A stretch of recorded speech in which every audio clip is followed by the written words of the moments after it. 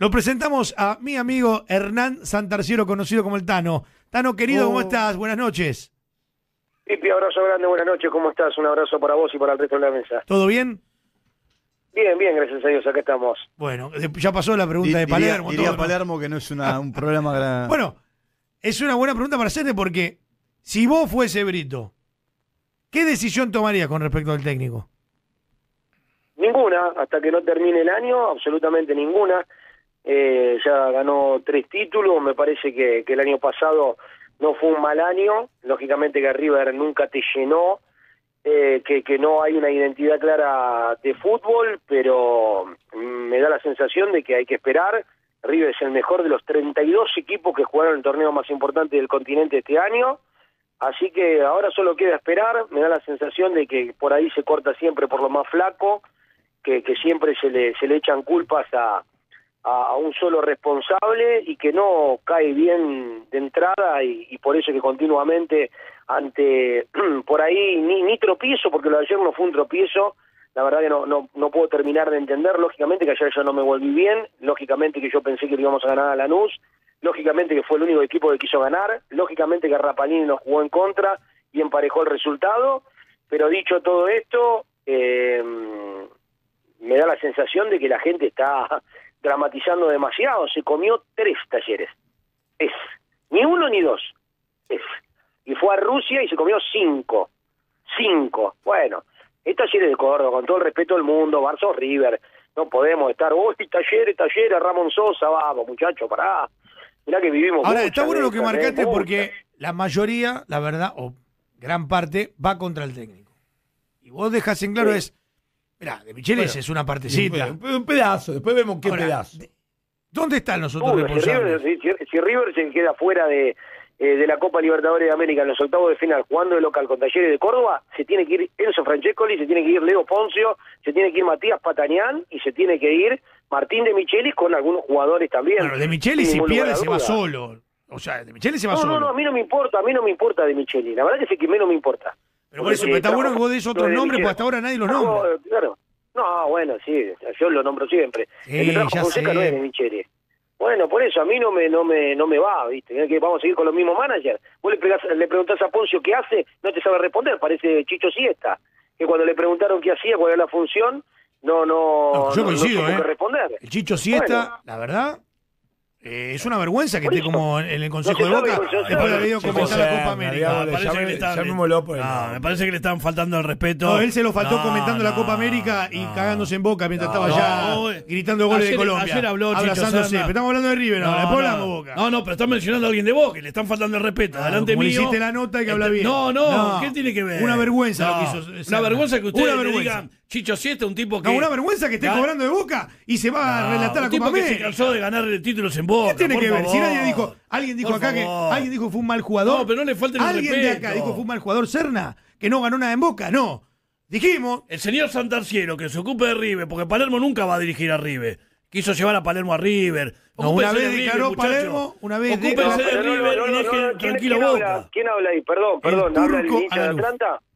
Ah, la luz, ¿cómo le va? Un gusto grande. Sí, sí, Hincha yo soy Atlanta, hincha de Atlanta. ¿Y hincha qué tiene que ver? Y soy directivo de No, no, Atlanta. no, nada, Pero vos nada, hiciste un nada, papelón para queriendo nada. llevar a Palermo soy- a, River. nada, no, hiciste, no. Yo no hiciste, a hiciste- nadie. no, No, pero no. déjame hablar a mí porque estoy hablando yo. No sea Sí, maleducado. Sí. Quisiste, No, para nada, para quisiste, no sea maleducado, déjame hablar a mí.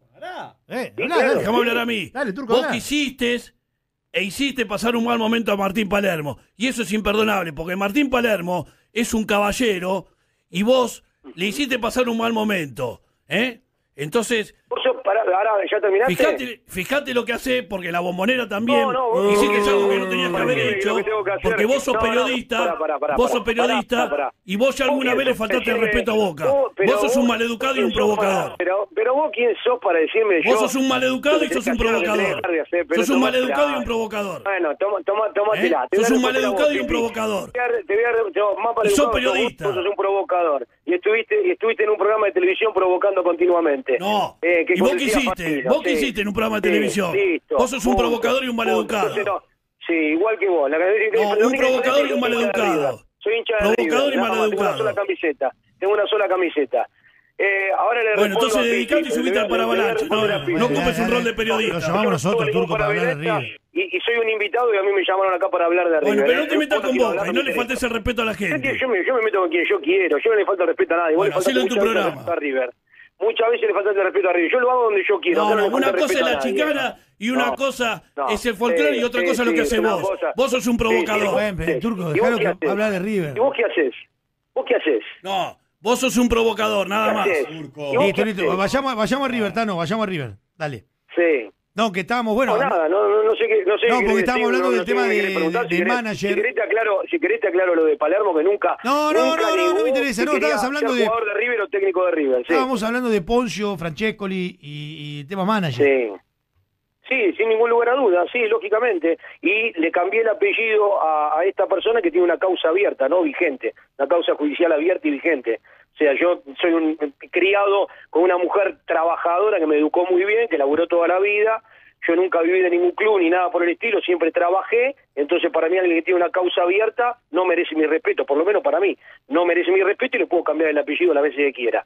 Entonces, yendo a eso, me da la sensación de que no solamente tenga que ro- eh, rodar la cabeza del entrenador, se corta por lo más fino, es alguien que heredó un trono gigantesco, de, un tipo que se cansó de ganar al rival de toda la vida, que se cansó de ganar títulos, lógicamente el que viniera después de Gallardo iba a tener una tarea complicada y a esto hay que sumarle que mm, por vivir 20 años en Alemania, por ser un tipo fachero, por, eh, por haberse cultivado en su momento, por, por vestir bien, por tener una mujer modelo, etcétera, etcétera, genera seguramente un montón de cuestiones en mucha gente que no puede lograr nada de lo que logró Martín de Micheli, que es alguien hincha de River, que nació futbolísticamente en River y que está haciendo sus primeras armas. Si lo primero es River, los segundos son los nombres, si él no consigue resultados, indudablemente que eh, tiene que dar un paso al costado o tiene que hacer todo lo posible para que dé un paso al costado. ¿Cuál sería un fracaso rotundo de Martín de Michelis este año? Es no llegar a la semifinal de la Copa Libertadores de América y no ganar el campeonato. Esto eh, da pie a que no clasifique a la Libertadores casi con seguridad del año que viene, que es un fracaso rotundo porque el equipo más importante de la Argentina no puede dejar de jugar el torneo más importante de América. Tano, de, en tu, de en tu entender y parecer, Nacho te habla. ¿Pensás Una noche, que, un abrazo. pensás que, yo pienso que sí, ¿eh? ¿Pensás que puede tener una serie de triunfos que, a ver, digo medio consagratorios? ¿A qué hablo consagratorio? No con Godoy Cruz el miércoles, porque será de torneo. Sí en la bombonera, sí en el Kempes, sí eh, en el partido de la mitad de los dos de Copa Libertadores. De esos triunfos, ¿sabes cuál me parecía, Tano? Que para mí es aquella final con estudiantes iba a ser como un primer escalón de ir formando algún triunfo de alguna manera que te consagre y que te ubique en un lugar de un poquitito más de espíritu, ¿no?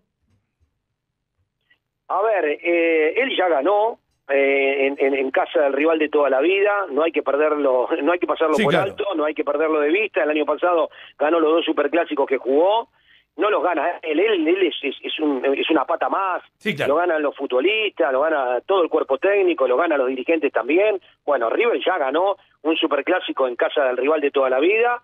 Este año le tocó perder en, en el partido de Mata o Muere en Córdoba, en donde por lo menos para mí el arbitraje incidió groseramente para que esto ocurriera. Para mí en ningún momento hubo un claro ganador, creo que fue un partido parejo. Eh, y, y bueno, creo que sí, en donde por ahí el plantel dio vergüenza, con el cuerpo técnico eh, indudablemente eh, a cuestas también, eh, fue en- en la, en la derrota frente a Temperley, porque es un rival muy menor, y frente a, a Riestra, eh, y, lógicamente también frente a Argentinos Juniors, el día de nuestro cumpleaños, eh, en donde creo que hubo un montón de cuestiones para criticar que River salga el día de su cumpleaños a jugar con una camiseta gris, que, los jugadores no hayan pateado una sola vez al arco, fue un día que, que nos ha dolido y mucho perder con Argentinos Juniors de visitante, un Argentino Junior que venía golpeado, bueno, me parece que esas son las tres peores caras eh, que, que podemos eh, recordar del primer semestre. Este es un nuevo semestre, creo que frente a Olimpia, el más grande de Paraguay, River ha tenido un buen partido, a mí me gustó, por lo menos a mí me gustó, creo que Lanzini demostró el mejor partido con la camiseta de River desde que volvió, justamente frente a Olimpia, es un amistoso, sí, es un amistoso, pero yo critiqué cuando River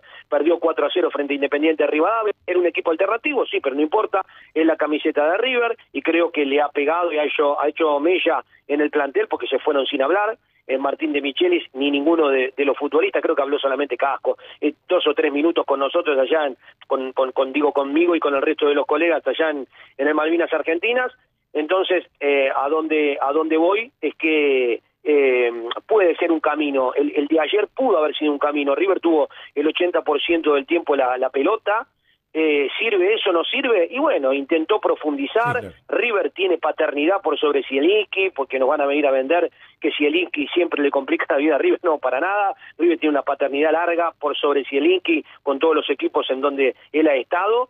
Eh, y haciendo indudablemente ah, un raconto. Ah, no, esto como que diga que Boca, es como que Boca diga que lo tiene de hijo a River y perdió Madrid. Sí, ya te entiendo, sí, también te entiendo, Pipe, pero no importa, eso quedó eh, atrás en el tiempo, hace muchísimos años con otro club, no importa, bueno, eh, se dio esa serie y esa serie la ganó, pero se, dice continuamente que Zielinski le complica la vida arriba y, y, esto no es así, por lo menos para mí no es así, ayer llegó dos veces Lanús o tres y convirtió dos goles, bueno, eh, así es el fútbol eh, River continuamente estuvo de mitad de cancha hacia adelante, Rapalini siguió porque no cobró un penal, Rapalini siguió porque debía haber amonestado a, a Guerre cuando eh, salió del área con la pelota en la mano, eso era tiro libre para River, Rapalini miró para otro lado, no lo amonestó, solamente amonestó a Colidio y después sí lo amonestó por hacer tiempo. Entonces, bueno. A los 42 del segundo.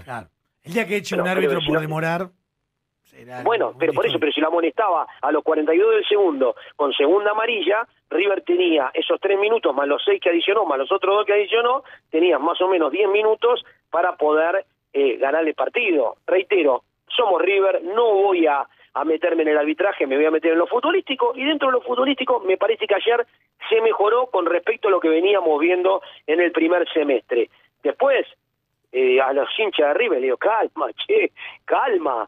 Eh, se comieron tres ayer, eh, Talleres se comió tres ayer. Eh, entonces, bueno, calma. Eh, esto no quiere decir ni que le vamos a ganar a Talleres, pero que tampoco Talleres es un cuco. Eh, le faltó a Ramón Sosa, bueno, está bien, y De Micheli decidió no ponerlo a Borja y a Armani, y me parece acertado, no por el cambio climático, ni por todas esas explicaciones que da, que no tienen asidero, porque es alguien que no es un buen orador, que lo coachean, bueno, todo esto lo sabemos y, y bueno, es buen orador o mal orador, nosotros tenemos que, eh, que, que, criticarlo por lo que hace su equipo en, en cancha, no por cómo se viste o por cómo declara, por lo menos para mí. Entonces, él, eh, eh la decisión que tomó me parece que la más acertada, porque yo hubiese exactamente hecho lo mismo, creo que el equipo que salió en cancha era, era un buen equipo y River venía de ganarle a Olimpia 3 a 0 casi porque el descuento se lo hizo Ramiro Funemori en contra. Entonces River le venía de ganar a Olimpia con un equipo que era prácticamente este que salió a la cancha ayer, entonces tiene lógica que él haya repetido el 11. Un buen 11 con un Simón que no es 4, que no ha jugado un buen partido, pero ¿para qué le vas a poner un 4 defensor como es Boselli, que es un, un central tirado a lateral, porque Santana está lesionado, a un equipo que no te va a atacar, que no te va a dañar?